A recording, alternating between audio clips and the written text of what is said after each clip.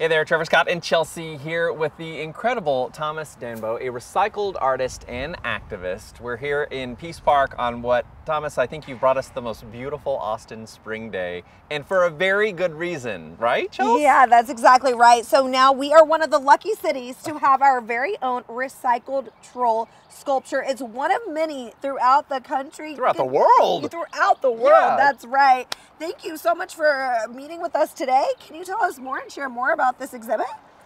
Yeah, so this uh, troll that I'm building here is uh, it's my first one in uh, in Texas, my first one in Austin. Oh my gosh. Uh, I heard so much about this beautiful city, and I'm happy to finally be here. This- This will be my number 129th recycled giant troll sculpture. Wow, we so 129 of these. We are really lucky, Chelsea, to- and to be here too. So we've we've said the word recycled a, a couple of times. Mm-hmm. Explain that, how that inspires your work, and why that's important, especially with the kind of the idea of the troll.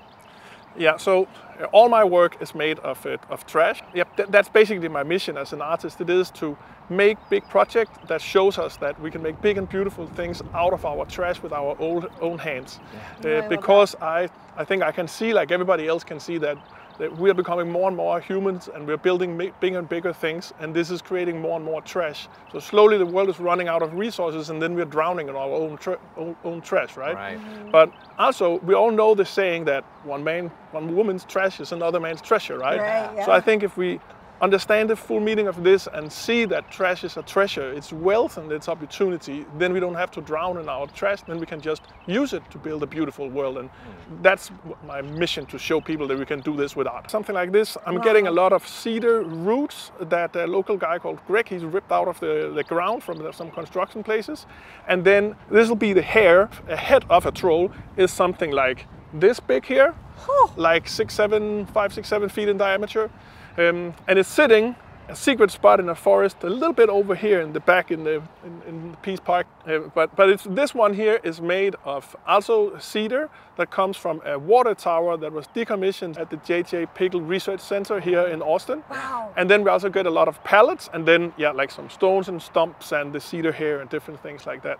But actually I don't only work in wood. I try to because my mission is to educate about trash. So I try to work in different mediums also. And right now I'm working on a troll that um, sits under a big blanket and it's hiding, like you know, like you're playing hide and seek with a little kid or something.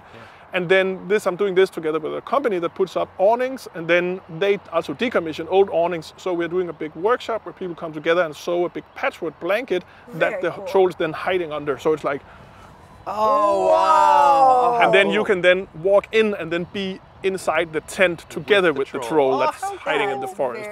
Yeah. What a cool moment that must be for people to see that from the outside and then join the troll Yeah. underneath. How cool! So does that mean that is your favorite out of all the trolls you've done? Ah, it's, it's one of my favorites right now. but I also think because I have two small boys, right? So n- right now I'm I'm the scale that the humans are to the trolls. Oh. I'm that scale for me to my small boys. Right. So when I played hide and seek with my boys, I did that, and then I was like, "Whoa, this would be Oh. cool." If, yeah. I, I gotta say, how perfect is it that our Austin troll is gonna have cedar root hairs? Because cedar is definitely a thing here. yeah. People will be happy to see that put to use. Does this troll have a story? What is the inspiration? Yeah. This troll is uh, about water. Uh, all my different uh, trolls are kind of like has different characters and are doing different things and have different stories. And when I got here to the park, uh, it was in uh, August, uh, late August last year, and it was really, really hot. That, that people would put up uh, like uh, water feeders for the birds and for the squirrels in the park here because it gets so hot and so dry. Yeah. And um, and then I could also understand that the creek, like many other places in the world where we have free running water in big cities, it gets polluted and contaminated, so that the animals actually don't really enjoy drinking it. Yeah. Um, but then I noticed that there were so many people exercising and running back and forth and biking with small human fountains with refillable bottles. And then I thought I should make a troll that encourages the humans to take their water bottle and share a little bit of water in the fountain for the for the animals and for the birds. Oh, Yeah. I love that, Thomas. That's amazing. So beautiful. Incredible. What's next for you? What's your goal? My goal, uh, like my big goal, it is to make a thousand trolls. I've An named my big trolls. fairy tale is right now to make one in each state all over America, and I have now 15 states. That's Woo! incredible. That is really cool. And I know you've kind of gathered all of this, this journey, this idea where it all began, gosh, what, t- 10 years ago in 2014, in a very cool book that people can kind of take up and follow along in this journey. Yeah, yeah. This is my book. It's called Trash, Trolls, and Treasure Hunts.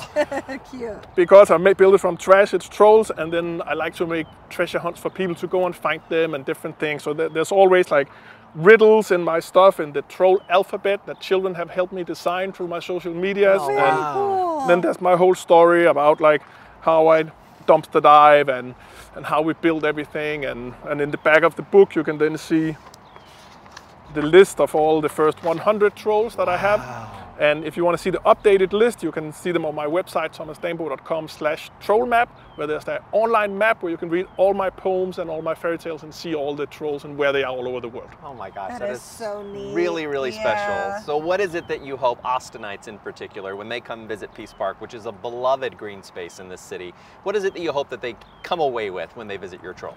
I hope they get a big of a whimsy and a, and a little smile, and uh, yeah, just have a good ex- experience. And then I also hope that they will will look at it and then think, oh, did he make that out of some trash just from here in Austin? And then think twice next time they go to empty their trash can because maybe there is a fairy tale or someone's dream hidden in people's trash. So think twice before you empty it and see if you could gift it to someone for whom it's a treasure. Oh my oh, gosh. so beautiful. That is God, that gave me the chills on a beautiful spring day. That is it's amazing. Thomas, welcome to Austin and thank you so Thank much. you we so could all use a little more whimsy in our lives, That's right, Chels? True. Exactly. Well, thank you and thank you for having me. And oh. yeah. Thank, Thank you. Thanks for watching. Please hit the subscribe button. And for more videos like this, check out our We Are Austin playlist.